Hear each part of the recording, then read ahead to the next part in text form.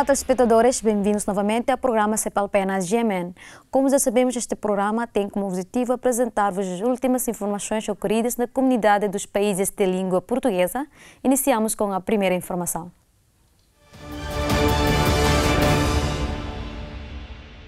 Ao chegar a Maputo, o presidente português Marcelo Rebelo de Sousa fez vida de moçambicano. Foi às compras no mercado, cortou o cabelo, engraxou os sapatos na rua e deu corda às conversas num café da Baixa. Ao chegar a Maputo, o presidente português Marcelo Rebelo de Sousa fez vida de moçambicano, a começar pelas compras no mercado, porque os sabores trazem recordações. O que eu gostava de comer, intenciono comer, aliás, tudo que seja bem picante, eu adorava, eu adoro. Agora temos que ver o que é que me falta cá mais. Tem que ver ali mais adiante. Estão quase 30 graus. Marcelo faz de guia do mercado, por onde passou há quatro anos. E há selfies daquela altura. Quatro anos. Há quatro anos. Ah, é Primeiro isso. 16. No tempo que veio visitar aqui em Miguel, Moçambique, Miguel, Miguel. aqui no Mercado Central. Hoje é ananás. Ah, e quanto Isso é o ananás? É 100 meticais. 100? 100 meticais. Então levo. Muito obrigado. Vamos, Amari, como é que ela está? Está bom? Muito O facto de um chefe de Estado circular pelas ruas como qualquer outra pessoa é desconcertante para os moçambicanos. Uma coisa. Esta é uma maravilha. Ora, bom, vamos embora, vamos embora. Esta é uma maravilha. O último corte antes da cerimónia de tomada de posse do seu homólogo Felipe Nyusi, na quarta-feira. Um último corte, brilho nos sapatos e amanhã termina com um pastel de nata e um apelo à comunidade internacional. É um país que fez um grande esforço de pacificação. O acordo entre a Frelimo e a Renamo está a fazer um grande esforço, hoje mesmo com o arranque da nova Assembleia e amanhã com a posse do Presidente. Eh, Este esforço, eh, depois da manhã, este esforço é um esforço que a comunidade internacional deve apoiar. Num mural, recorda-se a história de espaços de tertúlia. Entre os presentes na foto está Baltazar Rebelo de Sousa, pai do presidente português. Malagatana. Meu irmão Malagatana. E o meu pai. Meu pai é Malagatana. Boas Márias. Até sexta-feira, uma visita que assinala um novo ciclo político em Moçambique, mas também pontuada por memórias. Os cabo-verdianos cansaram-se de esperar por explicações sobre a morte do estudante Luiz Giovanni. O jovem morreu aos 21 anos após alegadas agressões em Bragança, Portugal. Os manifestantes saíram à rua para exigir justiça, criticando as autoridades portuguesas e de Cabo Verde. Esta era uma manifestação que devia ter sido pacífica e silenciosa. Pretendia reclamar por justiça para o caso do estudante cabo-verdiano que morreu em Portugal após alegadas agressões sofridas à porta de um bar em Bragança. Mas os ânimos exaltaram-se junto à Embaixada de Portugal na cidade da Praia e os manifestantes foram consecutivamente derrubando os gradeamentos policiais que travavam o avanço, forçando o recuo das dezenas de agentes da Polícia Nacional e que acabaram por formar um cordão à volta das instalações. Ao fim de alguns minutos de tensão, junto aos portões da Embaixada, o gigantesco cordão humano seguiu para a Assembleia Nacional e depois para a residência oficial do Presidente da República, repetindo os gritos exigindo a Portugal justiça para o caso do estudante cabo-verdiano. O objetivo é só apela para o governo de Portugal, para levar que as 15 pessoas que matam Giovanni de forma brutal, bom, Giovanni tem família, Giovanni tem país, então nós é prova que isso acontece na nove países, na 20 cidades. Então aquele que não quer, não quer justiça, bom, se fosse português na Cabo Verde, que Cabo Verdeano matava, então a história era outra. É inadmissível que as autoridades, eh, autoridades portuguesas até a data de hoje não, não, não nos deram eh, informações cabais. O que é que aconteceu? Nós precisamos saber. E como é que podem dizer que uma pessoa que leva uma paulada morre através dessa paulada, vem, vem nos dizer que o laudo médico não sabe, não, não, é, não é conclusivo para nos dizer o que é que matou aquela pessoa. Isso é, isso é brincar com os cabo-verdianos. Eu não sei o que, o que aconteceu lá, apenas queremos justiça, porque todos nós somos ser humano, todos nós merecemos respeito. Os manifestantes acabaram por dispersar, dando por terminado o protesto. Vigílias de homenagem ao estudante cabo-verdiano Luís Giovanni realizaram-se este sábado em Lisboa, Bragança, Cidade da Praia, Londres, Paris e Luxemburgo. Luís Giovanni dos Santos Rodrigues morreu a 31 de dezembro do ano passado no hospital após ter sofrido uma agressão perto de um bar em Bragança onde estivera com amigos. O caso está a ser investigado pela Polícia Judiciária de Portugal. O presidente da República Timorense, Francisco Guterres Luolo, disse que Timor-Leste manifestou solidariedade para com as vítimas dos incêndios na Austrália. O chefe de Estado destacou a solidariedade do povo timorense para com as vítimas dos incêndios da Austrália. Luolo falava durante uma conferência de imprensa realizada nesta terça-feira no Palácio Presidencial. O sentimento de consternação manifestado pelo presidente da República tem a ver com os violentos incêndios que ocorrem na Austrália desde setembro do ano passado. Há 10 anos, 173 australianos perderam as suas vidas em consequência de incêndios, o que nos encheu de tristeza como vizinhos e como amigo que somos. Hoje é com dor que acompanho a tragédia que se abate uma vez mais sobre uma parte da Austrália. Das imagens que nos chegam através da comunicação social, vejo pessoas que choram a perda dos seus entes queridos, cujas vidas foram ceifadas pelo fogo. Estou com as pessoas que perderam as suas casas e os seus bens. Quantas vezes resultantes dos esforços de uma vida de trabalho e de suor. As suas lágrimas, as suas palavras de dor e os seus rostos crispados de emoção tocam-me profundamente. Os dados mais conservadores apontam para a morte de mais de 500 milhões de animais, ameaçando a riquíssima biodiversidade da Austrália. Uma tragédia destas proporções tem consequências difíceis de serem medidas. É tempo de todos ponderarmos sobre a gravidade da mudança climática. Para um desafio deste tamanho, todos somos poucos. Contudo, a catástrofe dá-nos a oportunidade de gerar parcerias novas entre os saberes tradicionais e os saberes produzidos pela ciência e tecnologia modernas. Nesta hora de, da vossa dor e do vosso sofrimento, que fazemos nossos, nós os timorenses, e é em seu nome e do Estado que eu falo. Exprimimos, sobretudo, a nossa solidariedade. Os incêndios que se iniciaram em setembro de 2019 queimaram já 10,7 milhões de hectares de cerca de 26 milhões de acres, predominante no sudeste da Austrália. Também em Timor-Leste, o economista Manuel Tillman considera que a instabilidade governativa vivida prejudica a economia do país devido às divergências entre a ANP e líderes nacionais. Para Manuel Tillman, o impasse político vivido em Timor-Leste não se deve a uma crise política, mas antes à instabilidade governativa. A razão prende-se com o facto de existirem divergências entre a ANP e os líderes nacionais. Segundo o relatório do Banco Mundial, a situação política de Timor-Leste entre 2017 e 2018 custou à economia do país cerca de 350 milhões de dólares. Segundo o órgão Parlamento Nacional, é através de eleições 4 em 4 anos, 5 em 5 anos, ao passo que o governo de 4 em 4 anos, mas baseia o orçamento, baseia para o Orçamento Geral do Estado.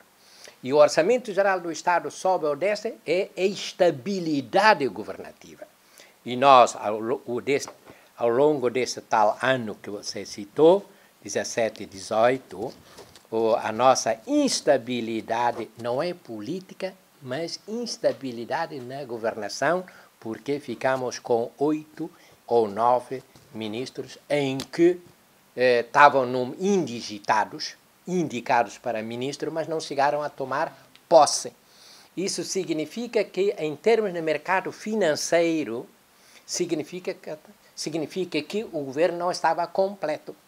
Como não está completo, a gestão do governo também não estava completo nem fixo, e então o efeito é este custo de 300 milhões.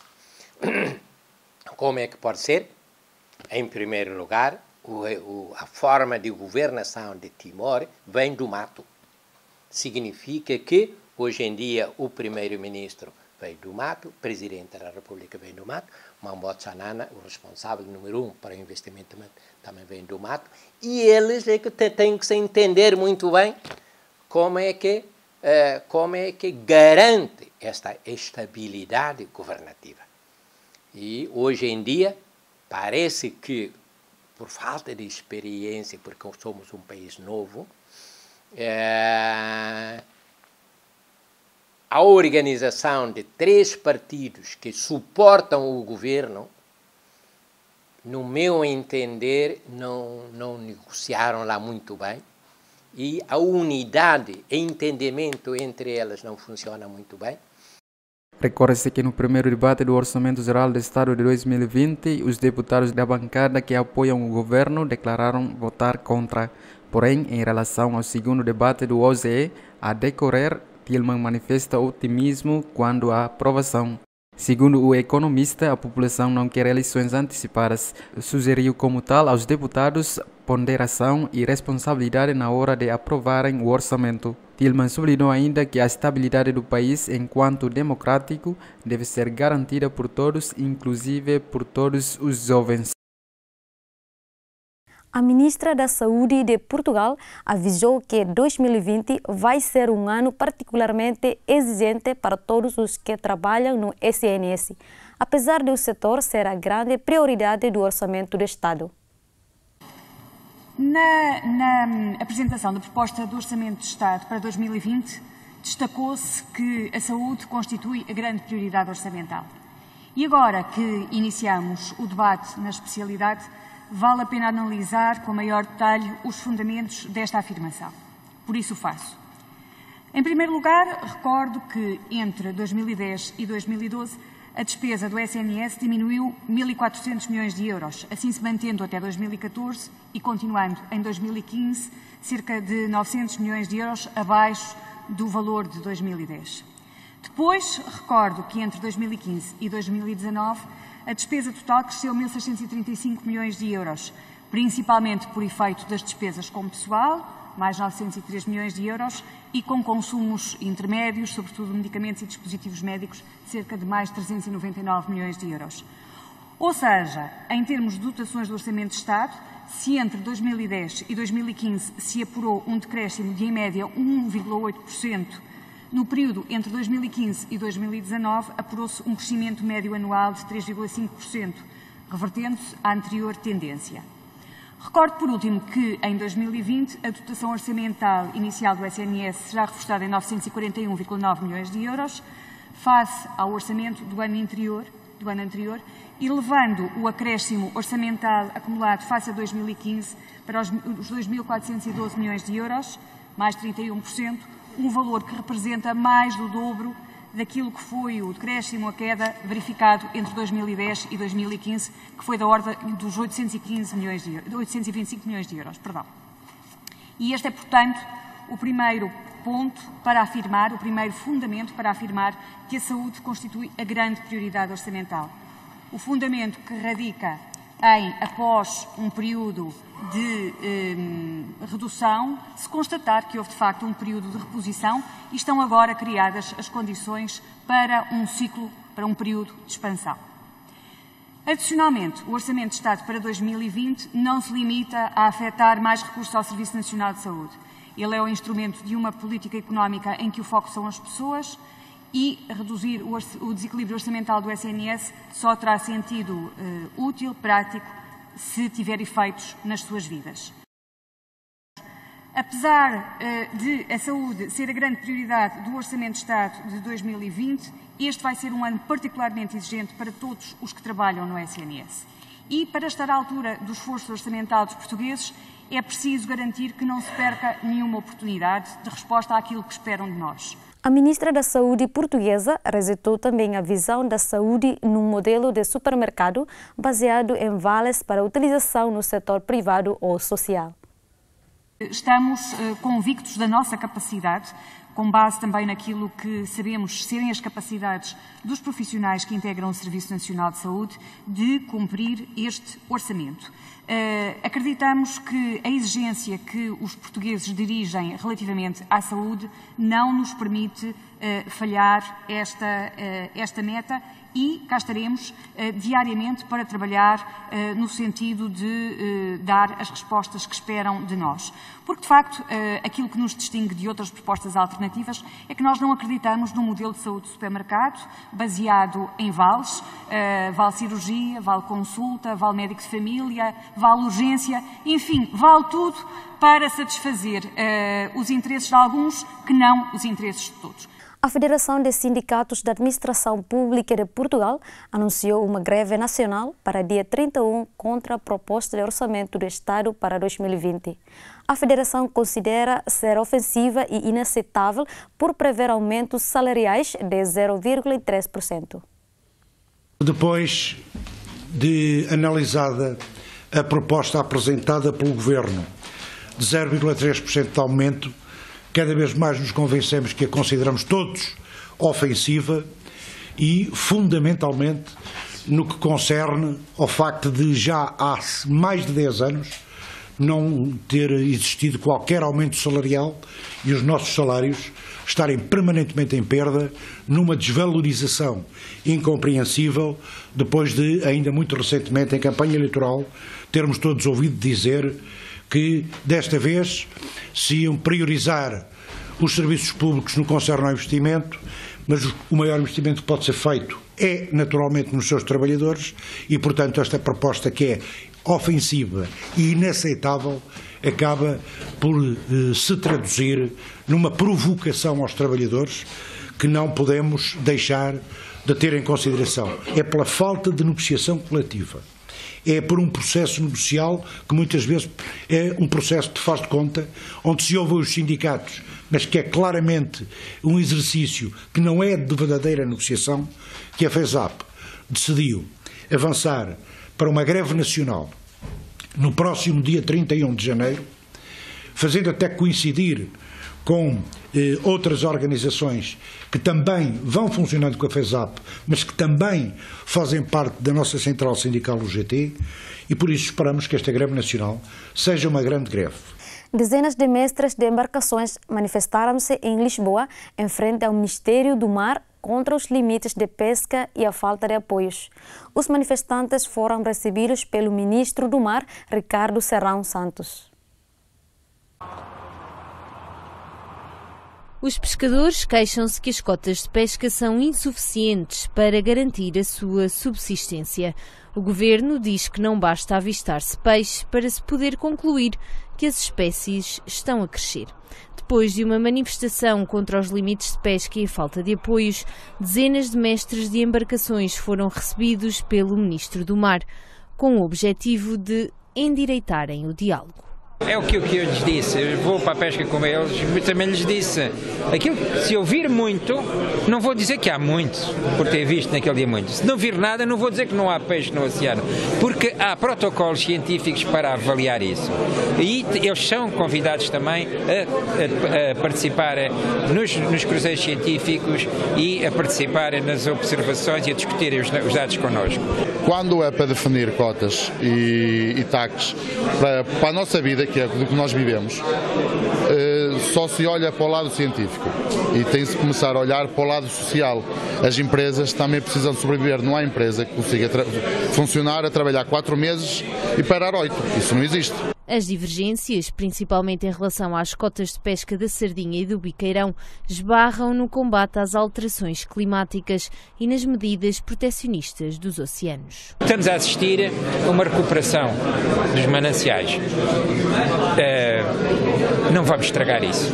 A recuperação vai levar tempo, mas ter muita atenção às questões sociais. Os problemas que as famílias vivem, que as comunidades vivem, são reais e nós nunca vamos resolver as crises ambientais se não resolvermos as crises eh, sociais. E ele disse que eh, vai passar a usar-nos com mais frequência. Não sabemos exatamente o que isso quer dizer.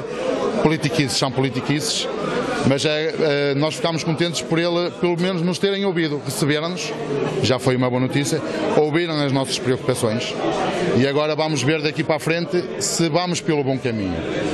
Agora vai depender da parte deles também. Nós já nos dispusamos, já dispusamos barcos para fazer as pesquisas, por isso volto a bater na mesma tecla. Usem-nos, nós somos artesãos da arte, usem-nos. Fica prometido, Vamos, vou, vou com vocês para o mar. Vai? Ok, é mais um tripulante então.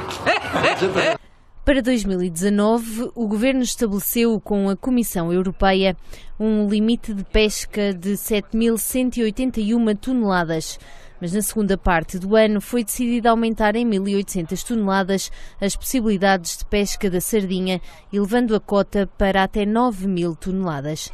Em novembro, o governo anunciou que os pescadores de biqueirão afetados pela interdição à pesca desta espécie deverão receber uma compensação entre os 960 euros e os 1020 euros. O submarino português Tridente partiu numa missão de dois meses no mar Mediterrâneo. O objetivo é recolher informações que ajudem no combate ao tráfico de droga e de pessoas. Foi sob um nevoeiro intenso que o submarino português Tridente partiu esta segunda-feira numa missão de dois meses no mar Mediterrâneo. O objetivo é recolher informações que ajudem no combate ao tráfico de droga e de pessoas. Esta missão insere-se num quadro de de compromissos internacionais que Portugal tem, tem assumidos com a Aliança Atlântica uh, e, e, é a importância que tem, nomeadamente no combate ao narcotráfico, na, na, manutenção das linhas de comunicação marítimas uh, seguras. A grande vantagem do submarino é mesmo essa, é consegui-lo fazer de forma discreta, sem alterar o meio ambiente, ou seja, nós estamos no local uh, e, e, o prevaricador, por assim dizer, não sabe que está lá o submarino a efetuar recolha de informação. O submarino não tem uma ação imediata na, na contraordenação, tem sim um, um importante papel na recolha de informação vital. O militar falava aos jornalistas na base naval de Lisboa, em Almada, na cerimónia de despedida dos 32 homens e uma mulher que estarão submersos nos próximos 60 dias para recolher informação vital sobre o tráfico de armas, drogas e pessoas. A recolha de, de, migrantes não é essa a missão principal, embora o, o, o, faça se assim necessário. O que o submarino está lá a fazer é efetivamente é, tentar saber quem é que são os, os indivíduos que estão é, é, a ajudar estes migrantes a saírem de, do Norte da África para, para a Europa. Já o Ministro da Defesa Nacional realça que, através desta missão, Portugal está a contribuir para tornar o Mediterrâneo um pouco mais seguro as condições eh, mais amplas mantêm-se, nomeadamente alguma eh, insegurança no norte da África e também eh, dificuldades grandes no continente africano, que são fonte de, de, de migrações para a Europa e no Médio Oriente, naturalmente. Portanto, eh, aquilo que nós fazemos aqui no Mediterrâneo eh, é um paliativo. A fonte do problema eh, está mais longe e requer outro tipo de soluções. Estou em crer que durante estes próximos meses iremos reforçar a capacidade da União Europeia de trabalhar no Mediterrâneo. É uma grande responsabilidade para a União Europeia e convenhamos que a União Europeia não tem estado à altura uh, daquilo que, que, que seriam as suas responsabilidades. No final da participação nestas operações, o submarino Tridente realiza um exercício no sul de Espanha com a Marinha Espanhola. O regresso do Tridente à base naval de Lisboa está previsto para março. Várias instituições bancárias no centro de Lisboa receberam a visita inesperada de uma espécie de passeio turístico da organização ambientalista Climáximo. E esta quis chamar a atenção para as ligações da banca aos maiores poluidores. Cerca de 20 ativistas da Climáximo, organização que alerta para a urgência do combate às alterações climáticas e os seus efeitos, juntaram-se no Marquês de Pombal, em Lisboa. Numa ação para chamar a atenção para as ligações da banca aos maiores poluidores, entraram numa dependência bancária, mas foram convidados a sair os bancos devem perceber que fazem parte da mesma, da mesma equação. Ou seja, muitas vezes, quando se fala da crise climática, aquecimento global e emergência climática, fala-se sobre os governos, as decisões dos governos, fala-se também das empresas multinacionais de combustíveis fósseis, seja petrolífero, seja de carvão, mas poucas vezes fala-se sobre quem está a financiar, quem tem o dinheiro sobre estes projetos. Portanto, os bancos, a indústria financeira, faz parte deste crime climático. Designada Passeio Tóxico, a iniciativa com mais tentativas frustradas de contactos com bancos, teve o objetivo de denunciar os investimentos nos combustíveis fósseis que os ativistas consideram errados. Eh, desde o Acordo de Paris eh, foi assinado, pronto, desde 2016, a indústria financeira eh, investiu 1.9 bilhões de dólares nos combustíveis fósseis. Portanto, são um dos principais responsáveis a produzir a crise climática. Realizada antes do Fórum Económico Mundial, no final deste mês, que vai juntar em Davos, na Suíça, líderes mundiais, a iniciativa Passeio Tóxico pretendeu mexer com as consciências. Eu acho que depois de ouvirem este alerta, os cidadãos devem começar a exigir respostas mais fortes aos seus governos, uh, e devem se informar mais e perceber que existem já organizações que tentam uh, trazer uh, reconhecimento a estes problemas, juntarem-se a essas organizações e exigirem mudanças verdadeiras no, no sistema que estamos a viver. O passeio tóxico da Climáximo incluiu-se na iniciativa internacional Fracasso Económico Mundial para ilustrar o papel da finança no agravamento da situação climática mundial. Em Portugal, mais de 4.500 pessoas plantaram 20 mil árvores em quatro locais de Lisboa. Esta iniciativa marca o arranque da cidade como Capital Verde Europeia 2020. A ambição é chegar a 100 mil até 2021. Mais de 4.500 pessoas plantaram este domingo 20 mil árvores em quatro locais de Lisboa, numa iniciativa que marca o arranque da cidade como Capital Verde Europeia 2020. No Parque Urbano do Val da Ameixoeira, onde decorreu uma das iniciativas e onde foram plantadas 6 mil árvores, o Presidente da Câmara Municipal de Lisboa definiu o objetivo. Nós estamos com isto a melhorar os nossos parques verdes, a, plantação de 100 mil árvores, que é o que faremos até ao próximo ano. É um, é um incremento muito importante relativamente ao número de árvores que hoje temos.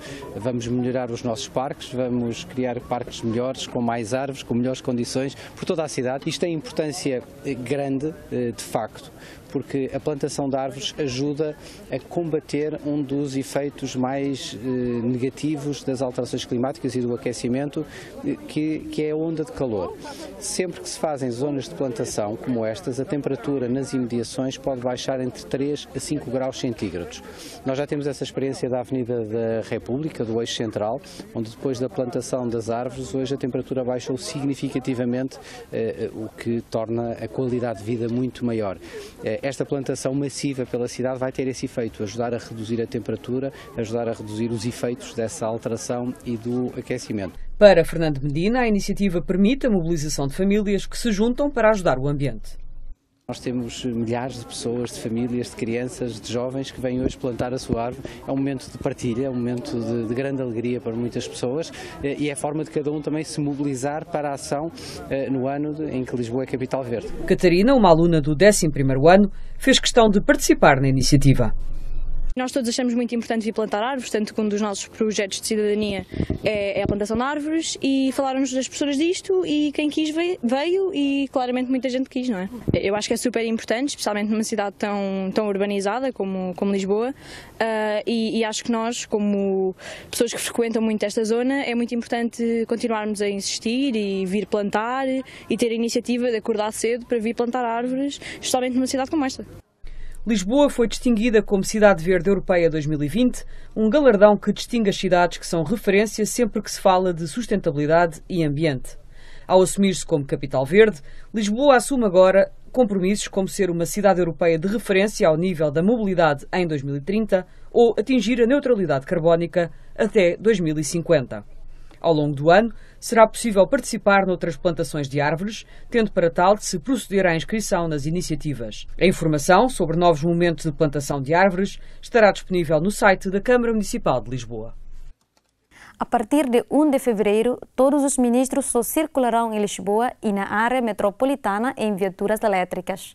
O anúncio é do primeiro-ministro português para assinalar simbolicamente o facto de a cidade ser capital verde europeia em 2020.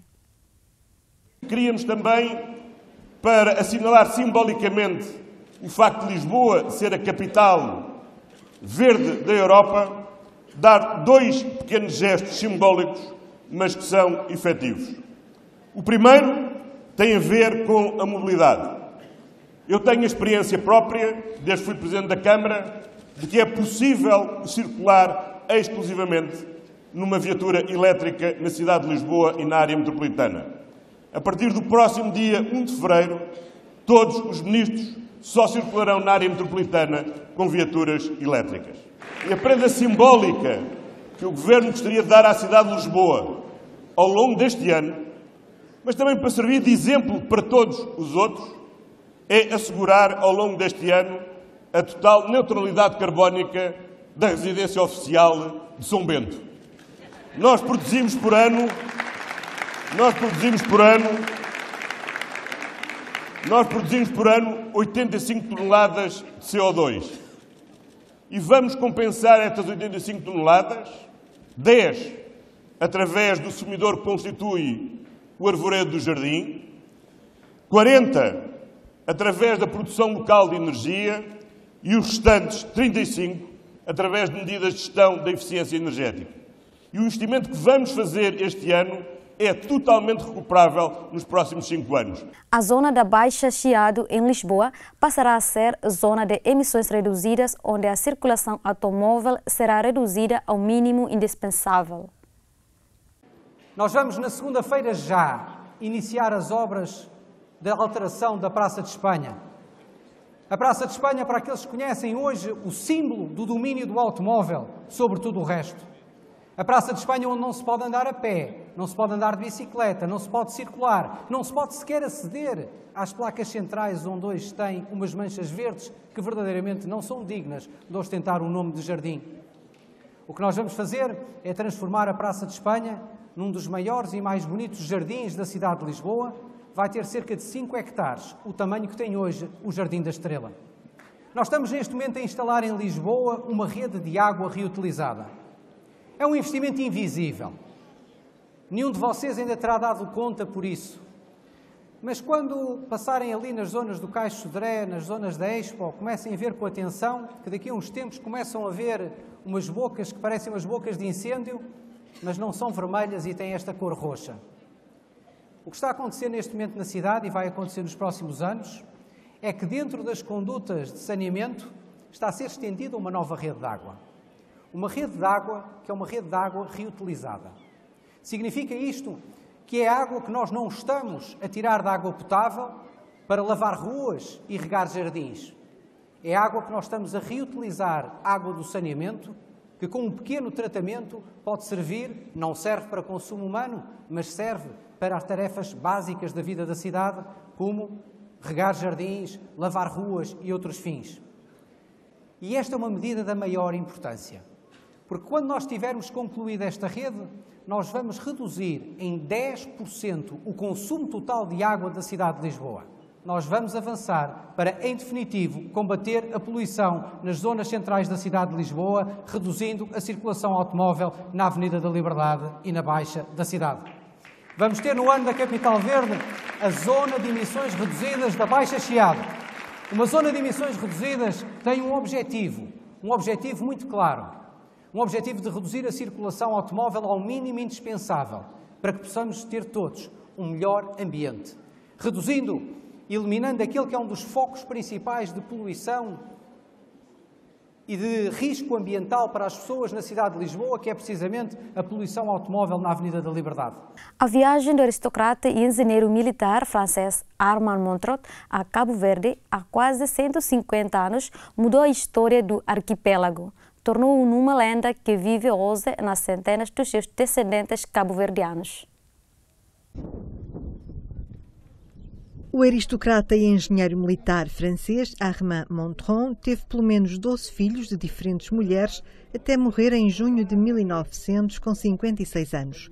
Os descendentes cabo-verdianos multiplicaram-se ao longo dos anos e povoaram a região, começando por Chã das Caldeiras, a quase 2 mil metros de altitude. A viagem do aristocrata e engenheiro francês a Cabo Verde há quase 150 anos mudou a história do arquipélago. Não se sabe bem, não se sabe bem alguma razão ponderosa, bem forte.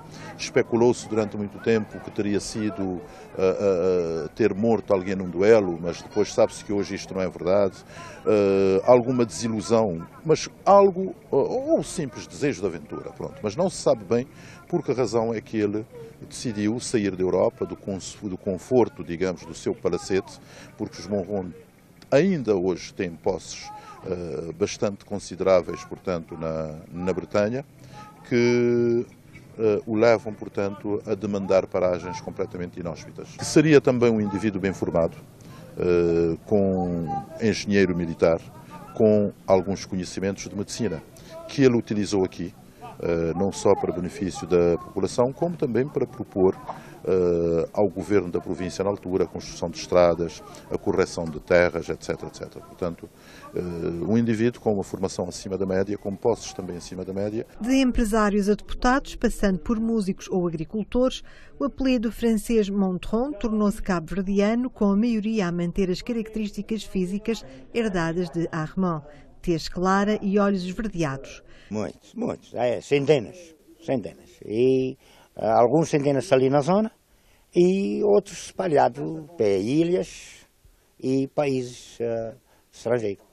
Mas, sobretudo, o, o centro é aqui em Sim, sim, o centro de Montronde, não só em Santos Caldeiras, mas a uh, raiz de Montronde é Atalaia.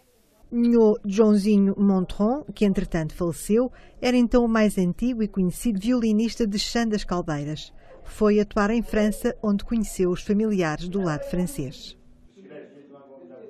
O presidente da UNITA, Adalberto da Costa Júnior, criticou a justiça direcionada e a guerra entre maribondos no seio do partido do poder.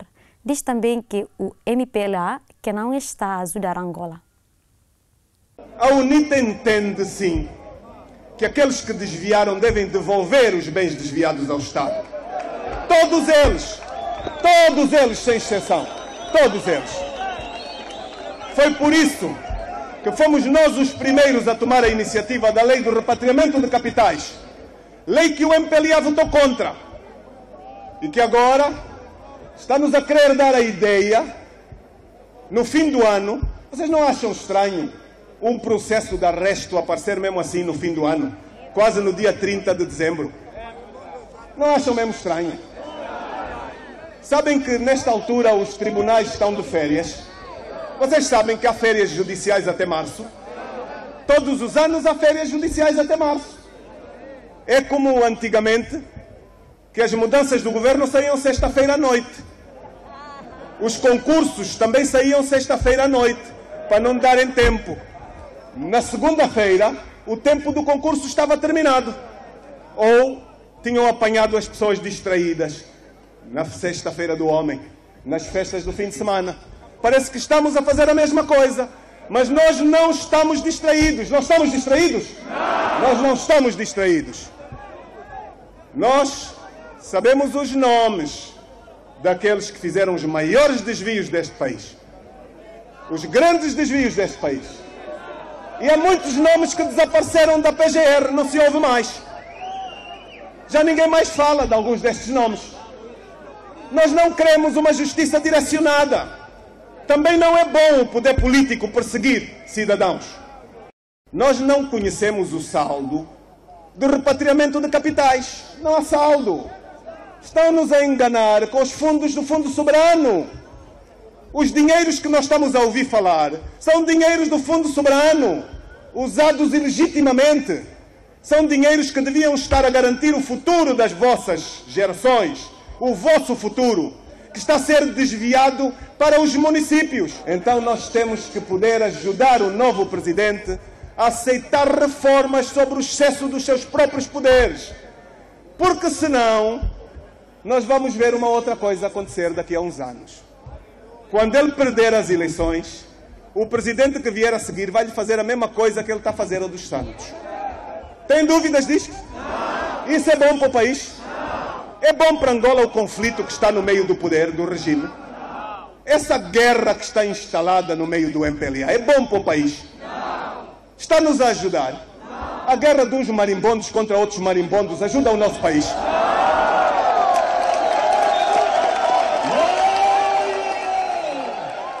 O presidente do Brasil, Jair Bolsonaro, considerou de ficção o documentário Democracia em Vertigem.